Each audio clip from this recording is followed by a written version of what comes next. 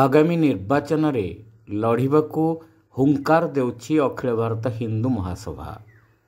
ଆଗାମୀ ସାଧାରଣ ନିର୍ବାଚନ ଦୁଇହଜାର ଚବିଶରେ ଅଖିଳ ଭାରତ ହିନ୍ଦୁ ମହାସଭା ପକ୍ଷରୁ ସମସ୍ତ ଲୋକସଭା ଓ ବିଧାନସଭା ଆସନରେ ପ୍ରାର୍ଥୀ ଦିଆଯିବ ବୋଲି କଟକର ସର୍କିଟ ହାଉସଠାରେ ଏକ ସାମ୍ବାଦିକ ସମ୍ମିଳନୀରେ ଦଳର ରାଜ୍ୟ ଅଧ୍ୟକ୍ଷା ଗୀତା ଚଇନି ଘୋଷଣା କରିଛନ୍ତି। ସେ କହିଛନ୍ତି ଯେ ହିନ୍ଦୁତ୍ୱ ହିଁ ଦଳର ମୁଖ୍ୟ ନିର୍ବାଚନୀ ପ୍ରସଙ୍ଗ ହେବ।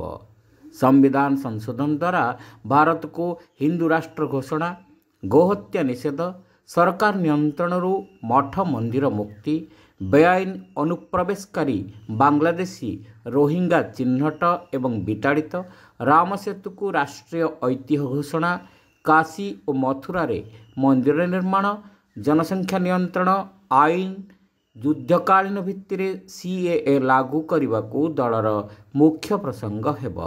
ଏହା ବ୍ୟତୀତ ଚାଷୀମାନଙ୍କ ପାଇଁ ଉତ୍ପାଦିତ ଫସଲ ମୂଲ୍ୟରେ ସର୍ବନିମ୍ନ ସହାୟକ ମୂଲ୍ୟ ପ୍ରଦାନ ଏବଂ ବେରୋଜଗାର ଯୁବକ ଯୁବତୀମାନଙ୍କୁ ସ୍ୱାବଲମ୍ବୀ କରିବା ପାଇଁ ଗ୍ରାମ୍ୟ ଓ କୁଟୀର ଶିଳ୍ପକୁ ପ୍ରୋତ୍ସାହନ ଦିଆଯାଉ ବୋଲି ଶ୍ରୀମତୀ ଚଇନି ମତ ପ୍ରକାଶ କରିଥିଲେ।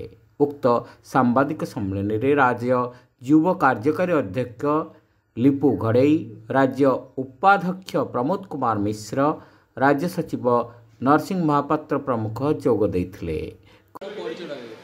ଗୀତା ଚଇନି ରାଜ୍ୟ ଅଧ୍ୟକ୍ଷା ଅଖିଳ ଭାରତ ହିନ୍ଦୁ ମହାସଭା ଓଡ଼ିଶା।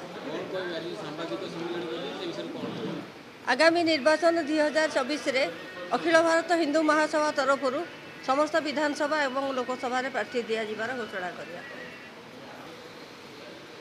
ପ୍ରଥମ ଦାବି ଆମର ଅଛି ଯେ ସମ୍ବିଧାନକୁ ସଂଶୋଧନ କରାଯାଇ ଭାରତକୁ ହିନ୍ଦୁ ରାଷ୍ଟ୍ର ଘୋଷଣା କରାଯାଉ। ଗୋ ସୁରକ୍ଷା ଆଇନ ପ୍ରଚଳନ କରାଯାଉ। ଯେତେ ବଙ୍ଗଳାଦେଶୀ ରୋହିଙ୍ଗା ଭାରତରେ ଅଛନ୍ତି ସେମାନଙ୍କୁ ଚିହ୍ନଟ କରାଯାଉ ଏବଂ ବିତାଡ଼ିତ କରାଯାଉ। ଜନ୍ମ ନିୟନ୍ତ୍ରଣ କାନୁନ ଲାଗୁ କରାଯାଉ। ସିଏକୁ ଯୁଦ୍ଧକାଳୀନ ଭିତରେ ଏସବୁ କରାଯିବା ପାଇଁ ଦାବି କରାଯାଇଛି। ମଠ ମନ୍ଦିର ସରକାରଙ୍କ ନିୟନ୍ତ୍ରଣରୁ ମୁକ୍ତ କରାଯାଉ। ଓଡ଼ିଶାରେ ଚାଷୀମାନେ ବେକାର ଯୁବକ ଯୁବତୀମାନେ ବହୁ ସଂଖ୍ୟାରେ ଅଛନ୍ତି। ଯେଉଁମାନଙ୍କର ଚାକିରି ନାହିଁ ସେମାନେ ଯାଇ ଦାଦନ ଖଟୁଛନ୍ତି। ଚାକିରି କୌଣସି ଜାଗାରେ ଡିଣ୍ଡିମ ପିଡ଼ୁଥିଲା ବେଳେ ଚାକିରି ବାସ୍ତବିକ ନାହିଁ ଯେଉଁମାନେ ଛଟେଇ ହେଉଛନ୍ତି। ପିଲାମାନେ ଯାଇ ଦାଦନ ଖଟୁଛନ୍ତି। ଚାଷୀ ତା'ର ଉତ୍ପାଦିତ ଫସଲର ସହାୟକ ମୂଲ୍ୟ ପାଉନି।